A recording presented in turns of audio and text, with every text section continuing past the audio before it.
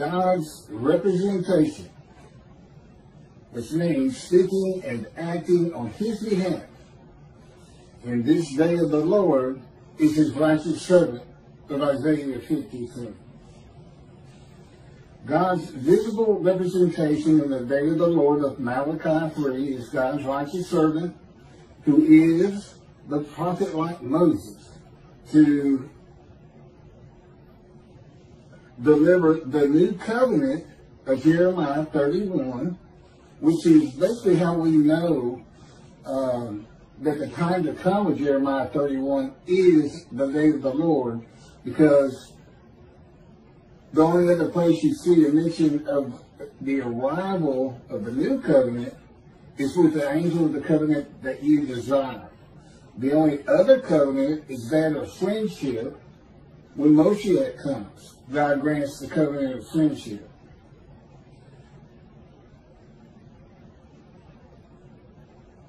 The prophet like Moses to deliver the new covenant to the Jewish people as Moses delivered the first.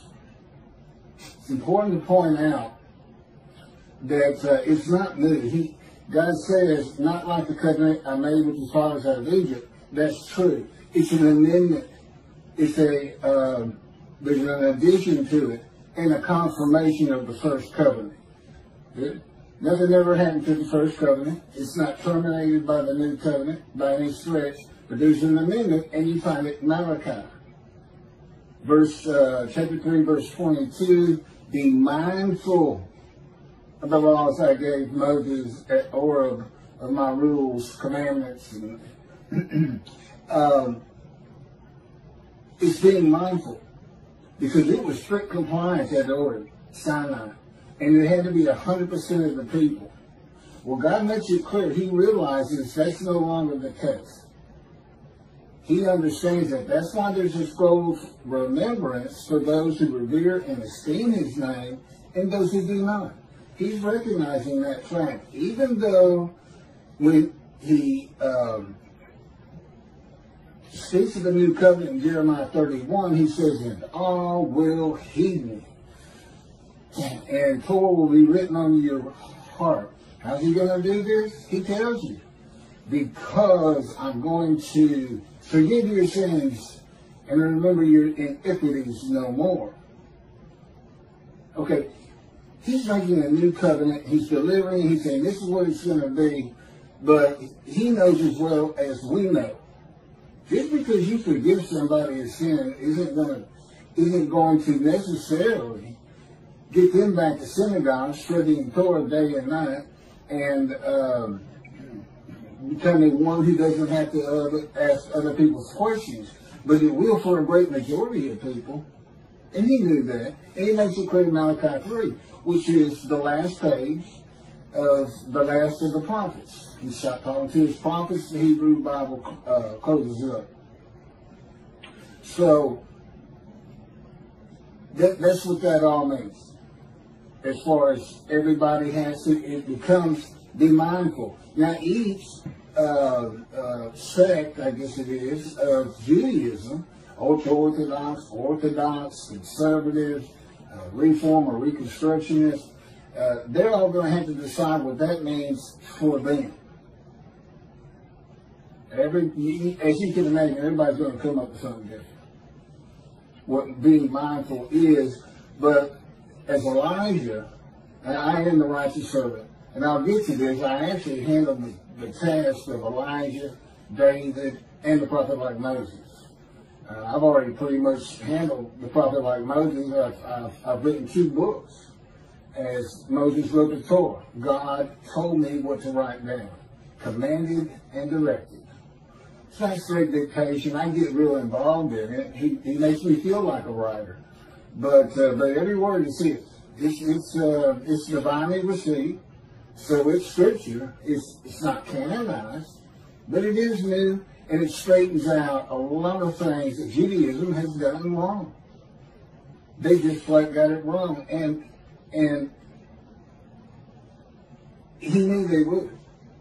There's a lot of cranky writing in there. 53 is a great example. The reason I'm cursed with disease that I'll offer myself for guilt and receive long life. The person with disease has got one purpose.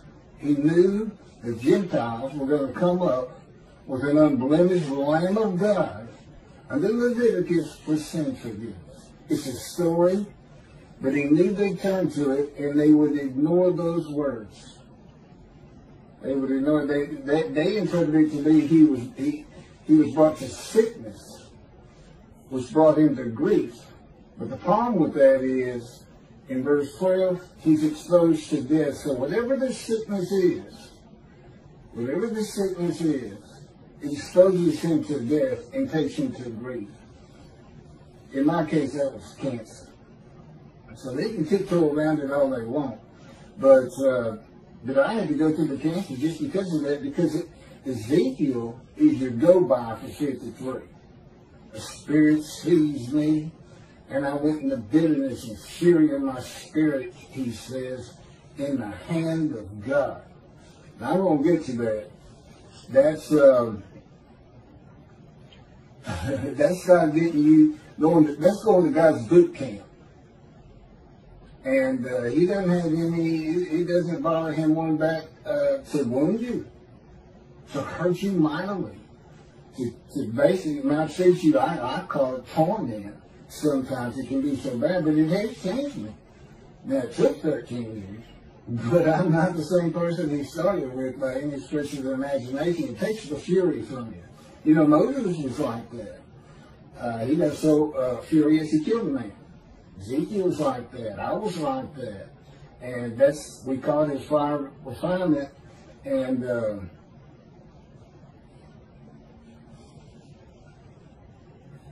I'll have a lot more on that as I go.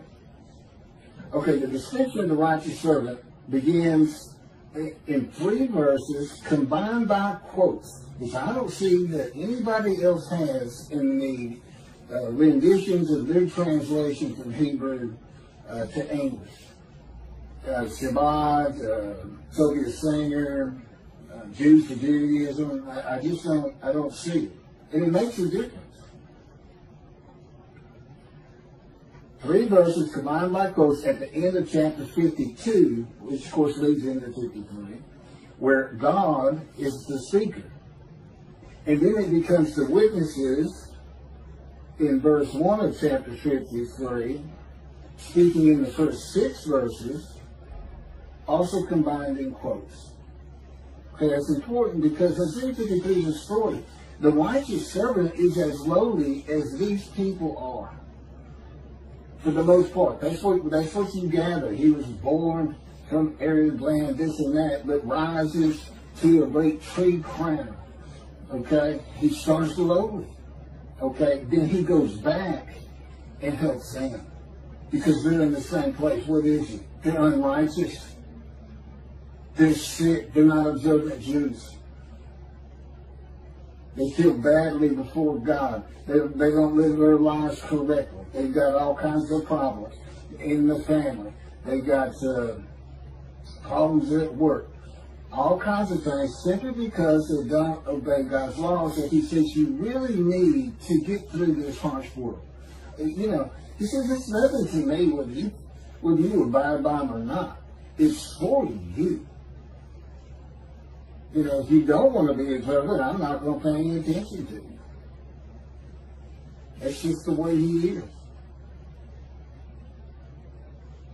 Okay, here's the witnesses. This is the witness is, and they are the many made righteous. Remember, this man, he goes through all these things. He is, they're going to tell you, he, he was wounded. He, he was, uh, uh, he, uh, well, let me read it. Let me read what they have. But he ends up making the many righteous, and that would include all these people. All these people who are sick from unrighteousness. And uh, and then a multitude of people. Starts out slow. Which I can attest Okay, the witnesses who are Jews identify themselves as ones of the many made righteous by God's righteous servant, saying, It was our sickness that he was bearing, our suffering he endured. That's verse 4. He was wounded because of our sins, crushed because of our iniquities. Verse 5. He bore the chastisement that made us whole, and by his bruises we were healed. Verse 5. And the Lord visited upon him the guilt of us all. Verse 6. And see, offering for guilt. Verse 10. That's what the offering for guilt's all about.